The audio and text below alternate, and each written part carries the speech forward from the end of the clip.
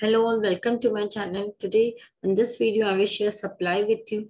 That is what is supply, the difference between stock and supply, factors affecting supply, individual supply schedule and how to derive the individual supply curve, market supply schedule and how to derive the market supply curve. Let us see first the difference between supply and stock. Stock of a commodity is the total amount available with the producers. That is whatever amount a producer produces that is the stock of a commodity. The supply is a part of stock which is offered for sale in the market. Maybe the producer is, is expecting a rise in price, then the supply will be less. It will be a part of stock. The producer will not supply the entire stock. The producer will keep it for so that when the price rises, it will supply, he will supply more. So supply is always a part of stock. Now let us see what is the definition of supply. The amount of a good that different firms are able and willing to offer for sale at different possible prices is termed as supply. Able and willing, that is the producer should be able to produce and should be willing to offer for sale. If the producer always keeps a stock, maybe the producer is always able to, but he is not willing to. So when whenever we are writing the definition of supply, we should always write able and willing to offer for sale and at different possible prices is very important when we are writing the definition of supply. So supply is the amount of a good that different firms are able and willing to offer for sale at different possible prices. This is supply. Now let us see what are the factors affecting supply. So the first and a very important factor is price of the product. Now, these are the factors, price expectation, number of firms, prices of related commodities, nature of commodity, government policy, technology, goal of firm, prices of inputs. I will discuss them one by one in details. The first is price of the good. Now, if the price of the good increases, the supply will rise because the producer will supply more in the market if the price increases. And if the price decreases, the supply will fall because they will earn less profit if price decreases. Next is prices of inputs. Inputs can be raw materials. Inputs can be machines which are used to produce things. And it can also be workers. Now, if prices of inputs are rising, the profit will fall. The producer will tend to earn less of profit and the supply will fall. Next is technology. If there's an improvement in technology, the cost of production will fall. And if the cost of production falls, the supply will rise. Next is government policy. Taxes reduce supply and subsidies increase supply. If the government imposes taxes, the there will be an increase in the cost of production of the producers. They will tend to supply less in the market. And if the government gets, gives subsidy to the producers, there will be a decrease in the cost of production. The supply will increase. Now, if the number of producers selling same type of product increases, the supply will rise.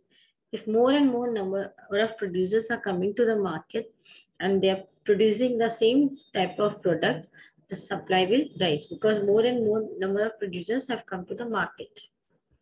Next is price expectation.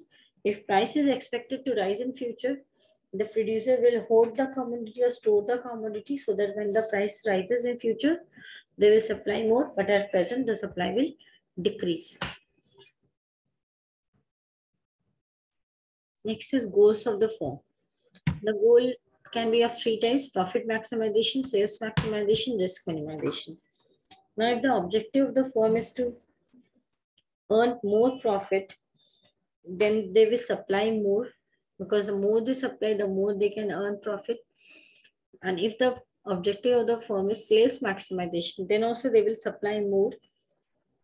They will produce more, they will sell more. And if the goal of the producer is to minimize risk, they will play safe and they will produce a very smaller quantity of a commodity. Prices of related commodities. Now producers always have the possibility of shifting from the production of one commodity to the production of another commodity. Now, if prices of other commodities are rising, While the price of the commodity under question remains constant, producers will always find it more profitable to produce and sell other commodities. I will give you an example. For example, a farmer can always grow various vegetables on a given piece of land. Now, if price of peas rise, farmers will supply more peas rather than producing cabbage because the farmer was initially producing cabbage. Now he will shift from the production of cabbage to production of peas because price of peas has rose. So prices of related commodities also affects the supply. So peas supply will increase. The nature of the commodity, whether the industry is monopolized or competitive. Now what is monopolized and competitive? If there's only one firm producing the entire commodity, then that industry or that market is monopolized market. And if the, there are many firms producing the same commodity, then that market or industry is competitive market. If the industry is monopolized, one firm will produce the entire commodity, then the that monopolist firm will always like to restrict the output so that the market price rises. If the producer supplies less in the market, the price will automatically rise because the demand will be higher so if industry is monopolized, supplies less. But if the industry is competitive, that is, there are many firms, there so many firms, so all firms will produce more, the supply will increase. Now let us see what is individual supply schedule. For any producer indicates different quantities supplied per period by the producer at different possible or probable prices of that commodity. It is basically a table for which there is price and quantity supply. So at price one, a producer willing to supply two units at price two, that is when the price is increasing, the quantity supplied by the producer increases to four units and so on. Individual supply schedule is basically a table in which we have prices and quantity supplied by a single producer since it is individual. Now let us derive the individual supply curve. We measure price on the vertical axis and quantity supplied on the horizontal axis. An individual supply curve is defined as the curve which shows various quantities of a given commodity which an individual producer is willing to supply different prices during given period of time. So we will get the curve after plotting the table of the individual supply schedule. And let us first plot now at price one, the producer is willing to supply two units. So we get this point. When the price rises to two, the producer will supply four units. At price three, the producer will supply six units because the price is three here and supplied quantity supplied is six units. At price four, quantity supplied is eight units. At price five, quantity supplied is 10 units. Now we will join these points and we will get the supply curve of the individual producer. So this is the individual supply curve. It shows various quantities of a given commodity at different possible prices during a given period of time. The market supply curve is the total combined supply by all producers in the market for a good or service. When we add the supply of all the producers for a particular good or service, we say that is it is market supply.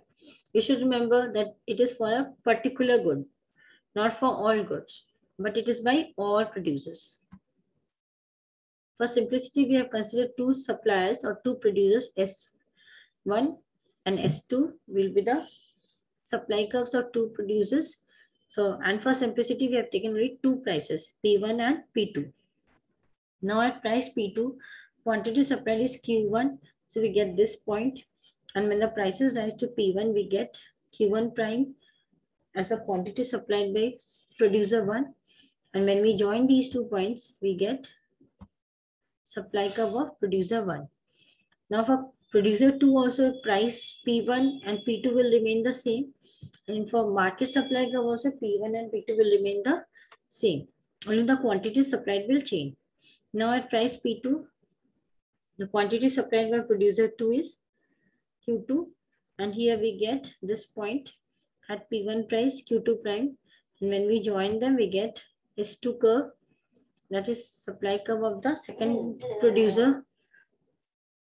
Now when we add horizontally at the same price, at price P2, we get this quantity Q1 plus Q2 and at price P1, we get the quantity supplied as Q1 prime plus Q2 prime. And when we join them, we get the market supply curve. And market supply curve is always flatter. So market supply curve is a horizontal summation of the individual supply curves and we take the sum of the quantities supplied by producers at each price. That is, we add the quantities supplied horizontally.